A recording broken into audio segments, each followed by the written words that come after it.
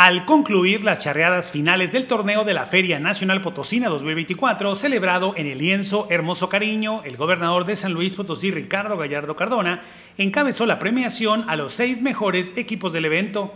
Los resultados del torneo fueron, como campeón el equipo Las 3G de Pátzcuaro con 397 puntos, el subcampeón el equipo campeón nacional RG2 con 390, el tercer lugar el Pitayo Octavo con 390, la cuarta posición Colonial RTA de Zacatecas con 369, el quinto sitio para regionales de Nopala, San José, Hidalgo sumando 368 y el sexto lugar al equipo Marqués de Guadalupe de Ciudad Valles con puntuación de 283. Tras participar en la faena de cala de caballo con el campeón nacional RG2, el mandatario estatal reconoció a los 19 equipos de los estados de Querétaro, Michoacán, Hidalgo, Yucatán, Zacatecas, San Luis Potosí, además de Houston, Texas y Phoenix, Arizona, que participaron en este certamen charro como parte de las múltiples actividades de la FENAPO.